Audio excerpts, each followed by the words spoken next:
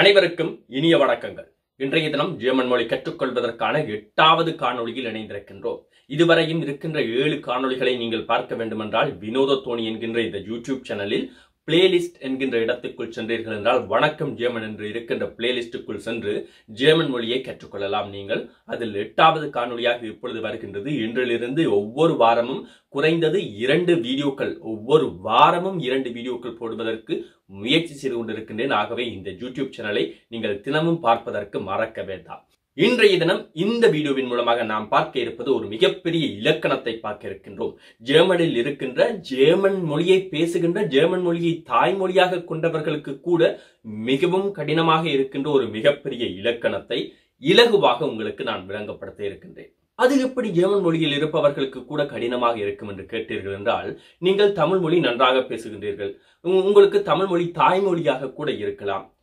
உங்களிடம் நான் ஒரு கேள்வி கேட்கின்றேன். உருவு என்றால் என்ன? தமிழில் இலக்கணத்தில் இருக்கின்ற உருவு என்றால் என்ன என்று கேட்டால் நம்மில் பலருக்கு அது என்ன என்றே தெரியாது. இத்தனை உருவுகள் இருக்கின்றது என்றே தெரியாது. அதே விடயம்தான் ஜெர்மன் மொழியிலும் ஜெர்மன் மொழி நாட்டவர்களுக்கு பேசத் தெரியும் ஆனால் இது என்ன என்று தெரியாது. அதை விளங்கப்படுத்த தெரியாது. அதே போன்று அந்த நான்கு விடயங்கள் அக்குசேட்டிவ் டாட்டிவ் கெனிட்டிவ் நொமினேட்டிவ் என்கின்ற இந்த நான்கு விடயங்களையும் அவை என்ன அதை எவ்வாறு விளங்கிக் கொள்வது அதை எங்கே பயன்படுத்த போகின்றோம் என்று அனைத்தையும் நாம் இன்றைய தினம் கற்றுக்கொள்ள இருக்கின்றோம். இந்த நான்கு விடயங்களும் தெரியாமல் உங்களால் ஜெர்மன் மொழியில் ஒரு சிறிய வார்த்தையை கூட உங்களால் அமைக்க முடியாது. ஆகவே அத்தனை முக்கியமான நான்கு விடயங்கள் இவை. இந்த நான்கு விடயங்கள் மிகவும் கடினமான விடயங்கள் என்று ஜெர்மன் மொழியை பேசுகின்ற ஜெர்மன் நாட்டவர்களே கூறுகின்றார்கள். இந்த நான்கு விடயங்களும் உருவுகள் என்று கூறப்படுகின்றது. அப்படி என்றால் நம் தமிழில் எத்தனை உருவுகள் இருக்கின்றது என்று உங்களுக்கு தெரியுமா? எங்களிடம் எட்டு உருவுகள் இருக்கின்றது. எட்டு உருவுகளை வைத்து பேசிக் கொண்டிருக்கின்ற தமிழ் மொழியை பேச தெரிந்த எங்களால் வெறும் நான்கு உருவுகளை வைத்து பேசக்கூடிய ஜெர்மன் மொழியை பேச முடியாதா?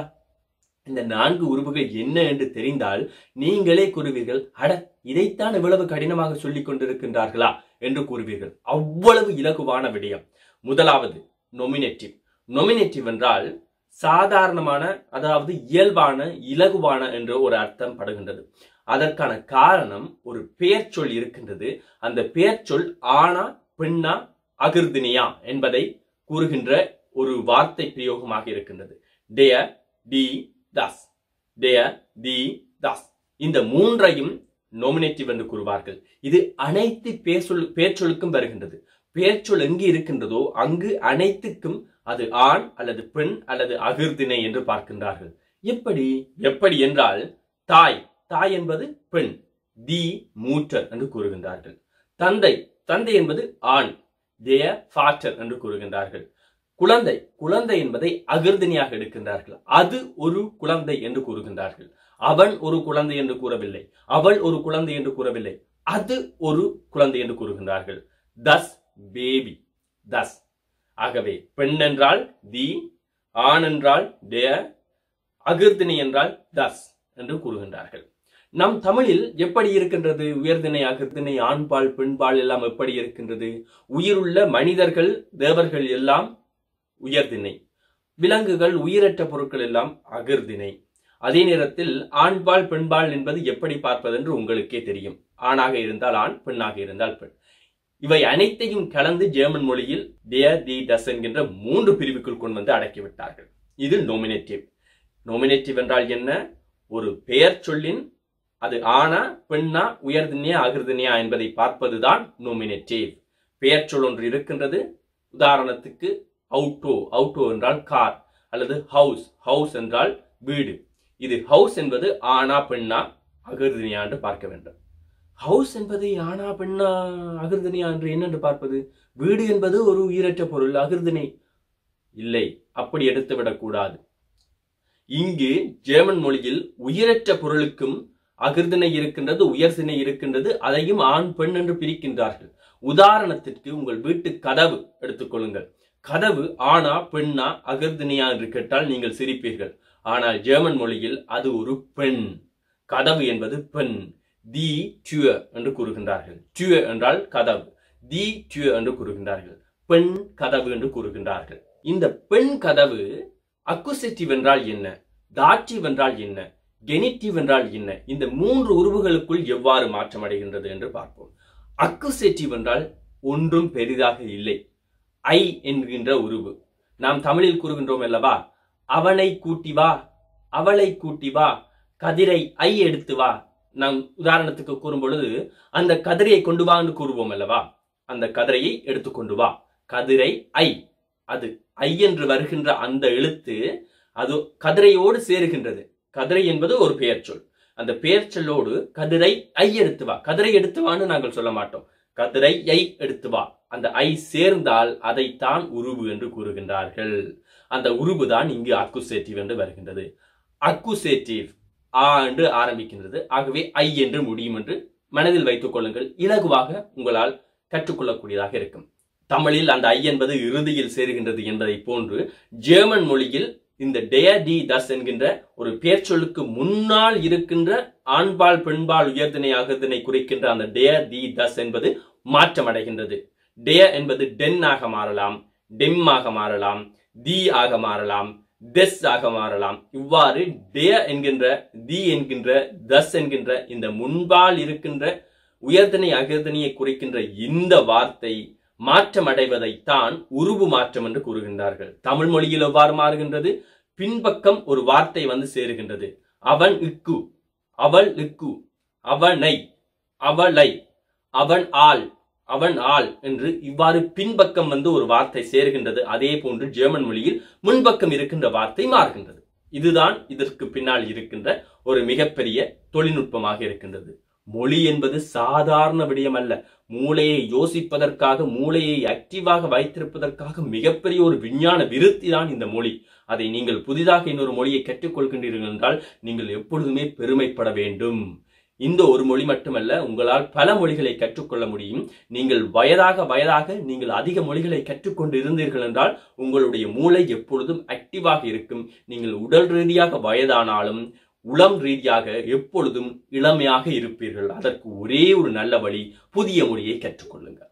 இப்பொழுது வாருங்கள் டாட்டிவ் என்றால் என்னவென்று பார்ப்போம். டாட்டிவ் டாட்டிவ் இதில் பாருங்கள் இட்டிவ் இட்டிவ் என்று வருகின்றது அல்லவா? அதை வைத்துக்கொண்டே இக்கு என்று வைத்துக் கொள்ளுங்கள். அதை ஒவ்வொரு வார்த்தையிலும் இருந்து உங்களுக்கு விளங்கக்கூடிய ஒரு வார்த்தையை எடுத்து அதன் அர்த்தத்தை புரிந்து வைத்துக் கொண்டீர்கள் என்றால் உங்களால் இலகுவாக அந்த மொழியை மனப்பாடம் செய்து வைத்துக் கொள்ள முடியும். அந்த இலக்கணத்தை மனப்பாடம் செய்து வைத்துக் கொள்ள முடியும். அப்படி மனப்பாடம் செய்து வைத்து விட்டீர்கள் என்றாலே போதும். உங்களால் வாழ்நாள் முழுவதும் அதை மறக்கவே முடியாது. டாட்டிவ் டாட்டிவ் என்று வரும்பொழுது அக் இக் இக் இக்கு இக்கு என்கின்ற சத்தம். அப்படி என்றால் என்ன? புத்தகத்திற்கு உரை போடுங்கள். இங்கு பாருங்கள் புத்தகம் என்பது பெயர் சொல் இக்கு என்பது சேர்கின்றது அல்லவா அதைத்தான் இங்கு டாட்டிவ் என்று கூறுகின்றார்கள். கெனிட்டிவ் என்றால் என்ன? நான் சொன்னால் நீங்கள் சிரிப்பீர்கள் நான் சொன்னால் நீங்கள் நம்பவே மாட்டீர்கள். இந்த கெனிட்டிவ் என்பதை ஜெர்மன் மொழிக்காரர்கள் மறந்து விட்டார்கள். இந்த கெனிட்டிவை அவர்கள் பயன்படுத்துவதே கிடையாது. இந்த கெனிட்டிவை பயன்படுத்தி பேசினால் அவர்களுக்கு புரியவே புரியாது. எவ்வளவு ஆச்சரியமாக இருக்கின்றது அல்லவா ஆம் ஆனால் அதுதான் உண்மை. அவர்கள் எழுதும் போது மட்டும் இந்த கெனிட்டிவை பயன்படுத்துகின்றார்கள். மற்றும்படி பேசும் பொழுது இதை கூடுதலாக மறந்து விட்டார்கள் அதற்கு அவர்கள் கூறுகின்ற விடயம் கெனிட்டிவை டாட்டிவ் கொன்றுவிட்டது என்று கூறுகின்றார்கள். டாட்டிவை பயன்படுத்தி கெனிட்டிவை அவர்கள் பேசிக் கொண்டிருக்கின்றார்கள். டாட்டிவை தான் அவர்கள் முக்கியமாக பயன்படுத்துகின்றார்கள். இருந்தாலும் நாம் இந்த கெனிட்டிவ் என்றால் என்ன என்பதை கண்டிப்பாக நாம் கற்றுக்கொள்ள வேண்டும். அவர்கள் பாட பேசாவிட்டாலும் நாம் பேச வேண்டும். ஒரு புதிய மொழியை முழுமையாக கற்றுக்கொள்ள வேண்டும் என்பதற்காக இந்த கெனிட்டிவை உங்களுக்கு விளங்கப்படுத்துகின்றேன். உடைய என்பதுதான் கெனிச்சியுடைய அர்த்தம். அப்படி என்றால் என்ன? அப்பாவுடைய கார் அம்மாவுடைய வீடு. இது அனைத்தையும் பாருங்கள் உடைய என்பது ஒன்று வந்து சேர்கின்றது அல்லவா? பெயர்ச்சலோடு உடையது என்கின்ற ஒன்று வந்து சேர்கின்றது. இதைத்தான் கெனிட்டிவ் என்று கூறுகின்றார்கள். வாருங்கள் இப்பொழுது இவை அனைத்தையும் ஒரு அட்டவணையில் பார்ப்போம். அட்டவணையில் பெயர் சொற்களை வைத்து விளக்கமாக பார்க்கும் பொழுது உங்களுக்கு அதை புரிந்து கொள்வது இலகுவாக இருக்கும். முதலாவதாக டேர் டே என்பதன் அனைத்து. நொமினேட்டிவ் என்றால் டேர் அதற்கான அக்குசெட்டிவ் டாட்டிவ் கெனிட்டிவ் என்கின்ற அனைத்தையும் பார்க்க இருக்கின்றோம். டேர் அதன் அக்குசெட்டிவ் டென் அதன் டாட்டிவ் டெம் அதன் கெனிட்டிவ் டெஸ் இதன் அர்த்தம் என்ன? டேய ஃபாட்டர் என்றால் நொமினேட்டிவ் அவர் சாதாரணமா ஒரு அவர் ஃபாதர் அவர் அப்பா அப்படின்னு எடுத்துக்கொள்ளுங்க அக்குசேட்டிவ் வரும் பொழுது டென் ஃபாட்டர் அப்பாவை.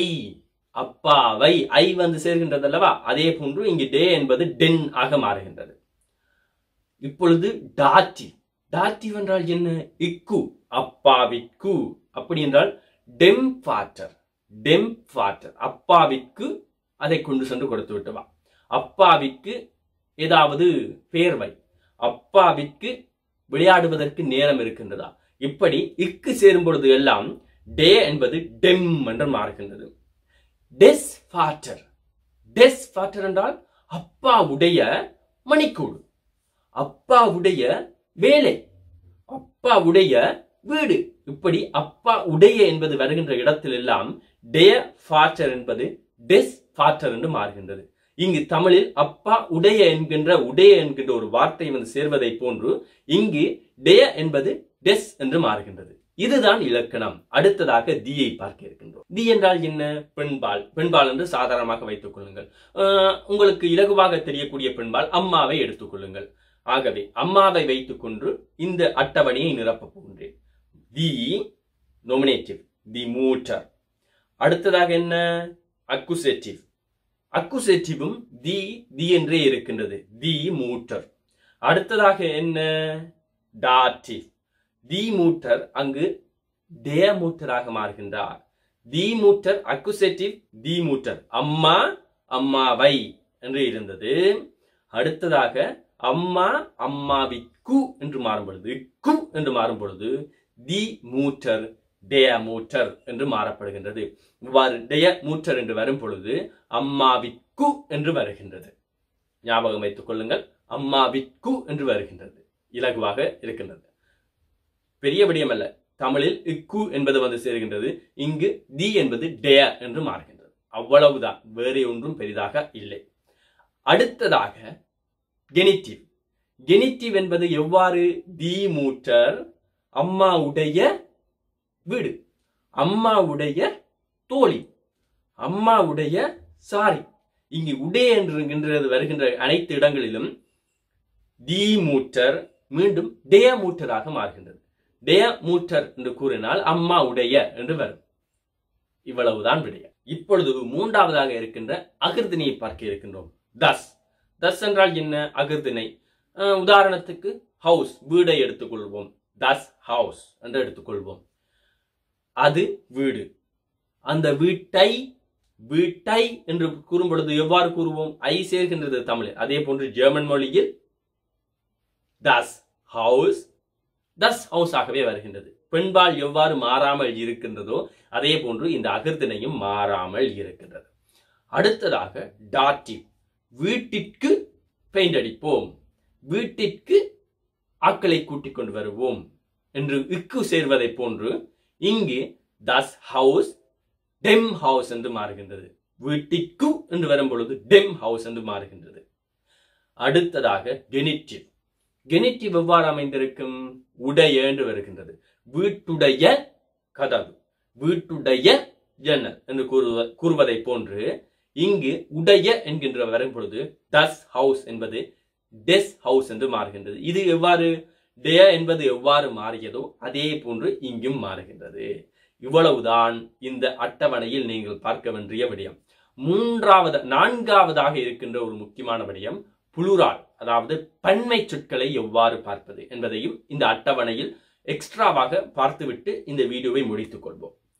தி என்பதுதான் புளுரால் அதாவது பன்மை சொற்களை எப்பொழுதுமே தி என்றுதான் கூறுவோம். தஸ் ஹவுஸ் என்று வரும்பொழுது இந்த புளுரல் என்பது எப்பொழுதும் தி என்றே வரும். ஏனென்றால் தஸ் ஹவுஸ் என்பது ஒரு வீடு. இங்கு பல வீடுகள் இருக்கின்றது என்று கூறும் பொழுது தி ஹோய்சர் என்று மாறுகின்றது. இந்த தி என்பது வருவது மட்டுமல்லாமல் தியோடு சேர்ந்து பெயர் சொல்லிலும் ஒரு சில மாற்றங்கள் ஏற்பட்டு எஸ் என்பது கூடும் அல்லது என் என்பது கூடும் அல்லது இஎன் என்பது கூடி இது இவ்வாறு கூடுவதன் மூலமாக இந்த பெயர் சொல்லும் விரிவடைகின்றது. அதனால் அது ஒரு பன்மை சொல் என்பதை இந்த பெயர் சொல்லும் இந்த முன்பால் இருக்கின்ற நொமினேட்டிவ் என்பது தி என்று மாறுவதன் மூலமாகவும் அது ஒரு பன்மை சொல் என்பதை இந்த ஜெர்மன் மொழியில் உணர்த்துகின்றார்கள். இந்த பன்மை சொல் எவ்வாறு அக்குசெட்டிவ் டாட்டிவ் கெனிட்டிவோடு மாறுகின்றது என்று இன்றைய தினம் பார்வை இறுதியாக பார்ப்போம். இந்த பன்மை சொல்லும் அக்குசெட்டிவ் என்று எடுக்கும் பொழுது தி என்பது தீயாகத்தான் வருகின்றது. எவ்வாறு? தி ஹோய்சர் என்று கூறுகின்றார்கள். அந்த வீடுகளை நான் வாங்கி விட்டேன் என்று கூறும் பொழுது ஐ என்று வருகின்றது. தி ஹோய்சர் என்பது அந்த வீடுகள்.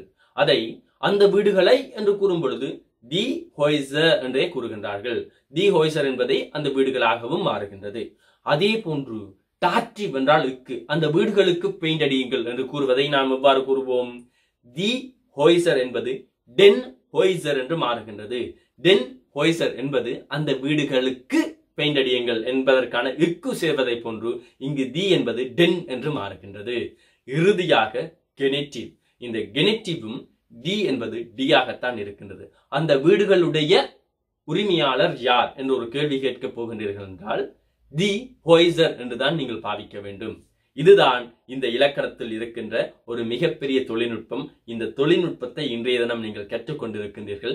இதை எழுதி வைத்து மீண்டும் ஒரு முறை நீங்கள் எழுதியதை வாசியுங்கள். அதற்கு பின்பாக மீண்டும் இந்த காணொளியை பாருங்கள். மீண்டும் காணொளியை பார்த்துவிட்டு நீங்கள் எழுதியது சரியா என்று ஒரு முறை சரி பாருங்கள். அதன் மூலமாக இந்த ஜெர்மன் மொழியை இலகுவாக வேகமாக உங்களால் கற்றுக்கொள்ளக்கூடியதாக இருக்கும். இன்னும் ஒரு அழகான வீடியோவில் உங்களுடன் சந்திக்கின்றேன். நான் உங்கள் அன்பு நண்பன் சீனா சிவவினோபன் நன்றி வணக்கம்.